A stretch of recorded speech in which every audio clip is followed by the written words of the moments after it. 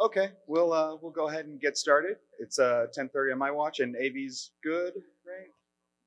Okay. Uh, well, hello. My name is Brian Kelly. I've been programming Perl professionally for for about 20 years. My organization runs some very old Perls, uh, some older than than my career. Uh, I like to call them ancient Perls because uh, software from just a few years ago can seem like it's ancient. Also, it makes my managers a little uncomfortable to call it that. The point of this talk is to discuss some strategies for safe, maintainable, sustainable Perl development, even if you're running an ancient Perl. You can write better code even if your Perl is ancient.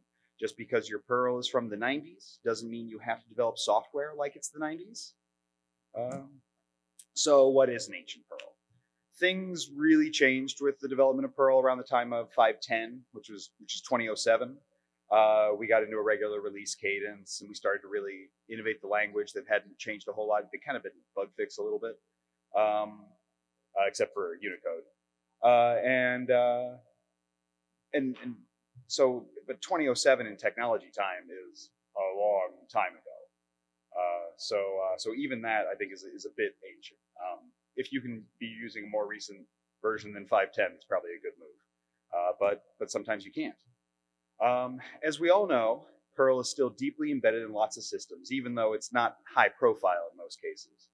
If you've ever had to debug some of this really ancient code, which may have actually been written in the 90s, uh, you'll know that some of these old approaches can make things really fragile and really dangerous to change.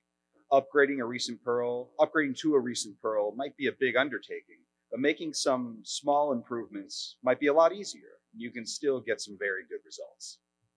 Uh, caveat, I'm really only talking about Perl 5. We're not going back to Perl 4 and 3 and, and whatnot.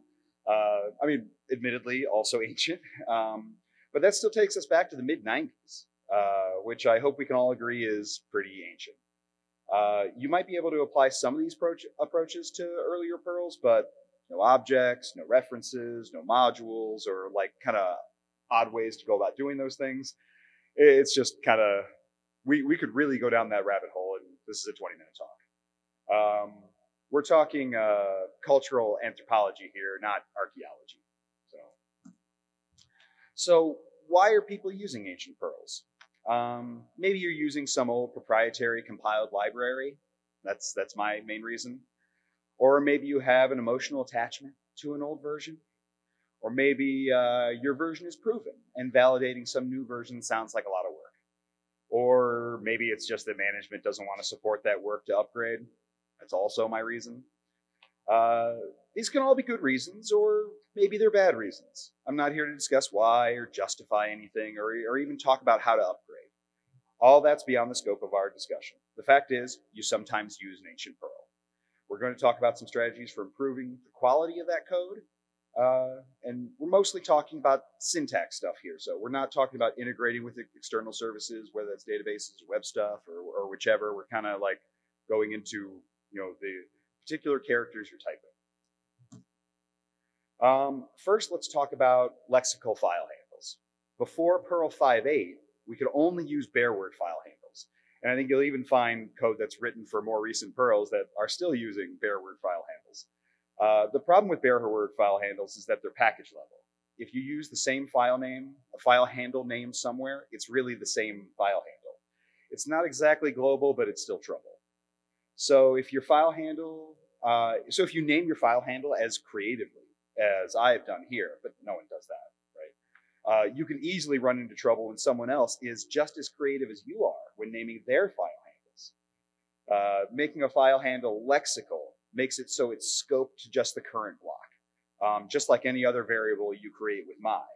That's because it is a variable that you create with my. A lexically scoped file handle can't accidentally be accessed somewhere else in the program. You can, of course, make the file handle available somewhere else, but you have to do that explicitly. And I think we'd all agree that that's a good thing.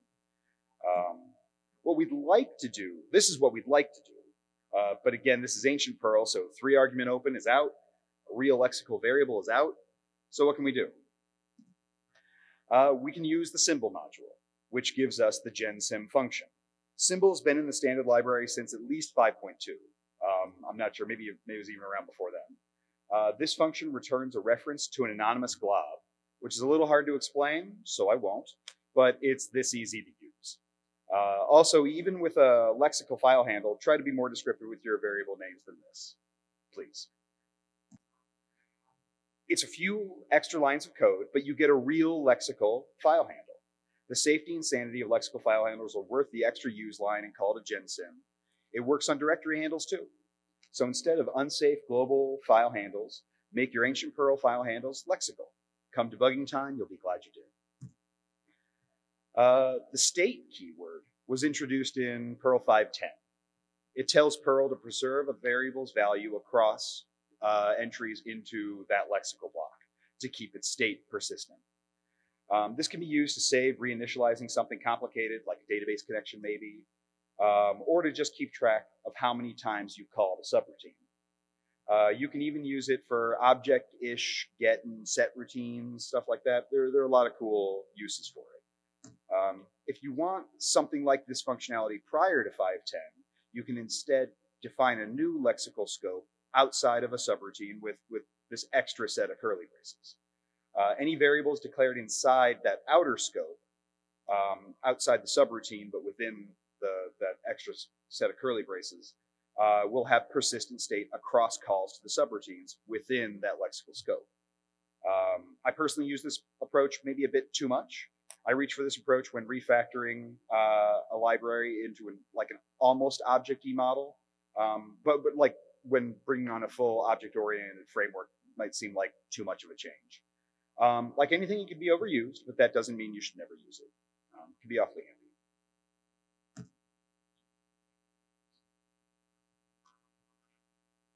Uh, named regex capture groups were introduced in Perl 5.10 also. There's a lot of stuff in 5.10. They're a great way to make your regexes more readable and extendable. In older versions of Perl, you only get the numbered regex variables, dollar $1, $2, etc. But in 5.10 and later, you can use the cool plus hash to access captures by their names.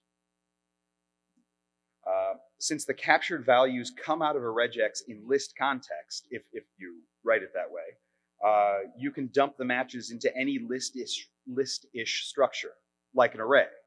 Using the magic of L-value hash slices, uh, you can recreate some of the advantages of name captures in ancient Perl. There probably isn't a good way to hack this to use these hash slice captures in a substitution regex. There are, there are limits to our work here today. Lexical subroutines were introduced in 518 and are no longer experimental as of 526, which I mean, 526 is six, eight years ago or something, so that's even a while you can do some interesting things with confining a subroutine to the current lexical scope. Some objecty, some data integrity stuff. Look it up. They can be awfully handy, and so it's a nice tool to have access to. Even in ancient Perl, we can declare a subroutine reference. And since that's just a variety of a scalar, it's lexical already, uh, or as long as you called it with my. Um, since it's a scalar, it's not accessible from outside your module at all unless you export it, of course, but don't do that. If you want to export it, then just use a regular module or regular subroutine and export it. Um, this doesn't get you the handy namespace overriding of real lexical subroutines, but this approach can still be pretty powerful. Uh, private subroutines, internal initializers, the list goes on. Or at least there, there is something of a list. So two items. Uh, subroutine signatures. I was digging at this one for a little bit. There isn't a really a really great way, feature equivalent way to recreate subroutine signatures, um, at least that I could figure out. But there are some good approaches you can and should take when unpacking your subroutine arguments. Uh, first up, just count your arguments for sanity's sake. Uh, I wouldn't just die here. This is just simple. You, you should probably raise a useful message depending on what your subroutine's up to or whatever. Um, you should also consider having your subroutine taken a hash as an argument. You see a lot of advice around this. I think uh, this is one thing that Damian suggests. Um, it definitely makes calls to your subroutine easier to read, even if there's a bit of boilerplate in the subroutine itself. Um, uh, you might be surprised by how much you can make use of CPAN, even on these really ancient Perls. You will, of course, have more luck with pure Perl modules. A nice thing with integrating CPAN modules into your ancient Perl stack is that when or if you finally do an upgrade, you can probably leave the modules and their usage uh, when you get around to otherwise modernizing your code. Using a try module, there are, there are many, not, not just try harder, um, can, be hand, can be a handy and safe alternative to using eval for the same purpose. Try harder is an easy to use pure Perl example, but, but there are others. Um, if you can't do a three argument open in your uh, in your Perl, there are some options on CPAN. Both Open 2 and Open 3 uh, in the IPC namespace are worth investigating. Even when you do have a three argument open, they bring a lot to the table. Testing modules like Test 2 Suite, Test Simple, Test More can be a great addition to your workflow, even on an ancient Perl.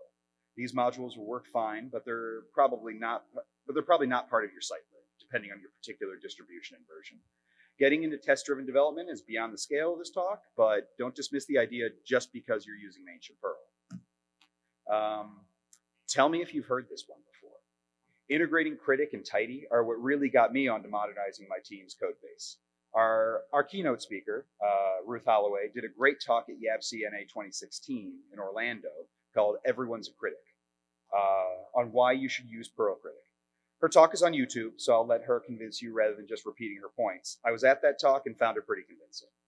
Um, if you're not familiar, these are both tools that you run on your code to help improve your code quality a lot.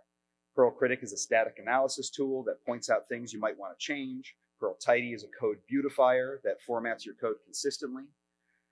Using both of these tools will not only get your team on the same page, but will also make maintaining older code a lot easier. Remember, neither is draconian. They're both wildly configurable. Configure them to your taste and needs. Extra credit for executing both in a commit time git hook. Uh, I hope you found some approaches that you can take back to your own Perl code bases. Uh, hit me up in the hallway track if you want to discuss ancient Perl or whatever else. Um, thank you very much.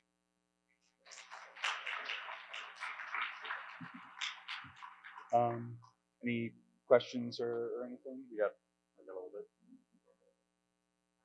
I, on the last slide, very, very briefly. Yeah. Um, that, that's one thing I do on my team. Um, we, we publish out uh, a commit hook uh, that, that runs critic and tidy, and we also have a naming convention for .t files, and they got to run too. It's everyone's local hook. It's a commit hook. So, so it can be a little trouble because like, oh, you didn't install the hook, and what the, the way we end up controlling for that is we've got a code review script too that then kind of does the same thing. You've got to pass code review.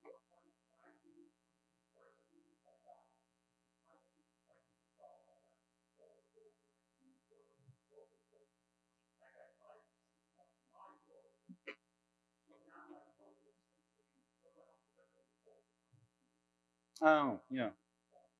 So you still need to put a hook in there, but it's like a little stub.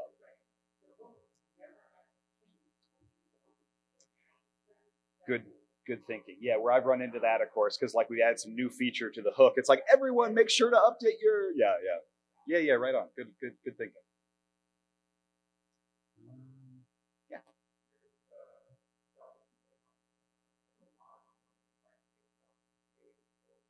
Yeah.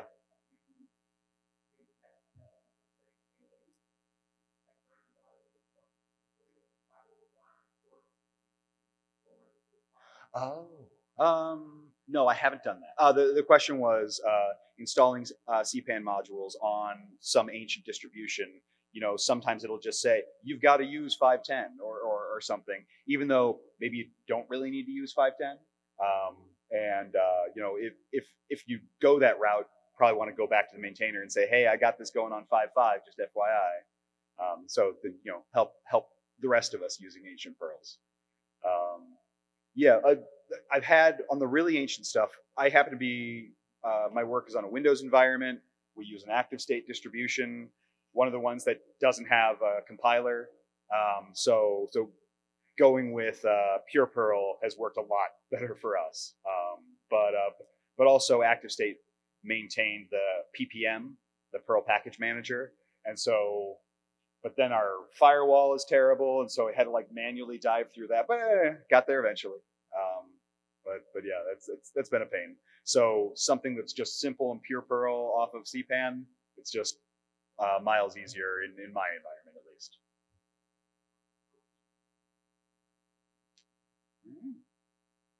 All right. Well, thank you everyone, and uh, uh, give you a little bit of time back.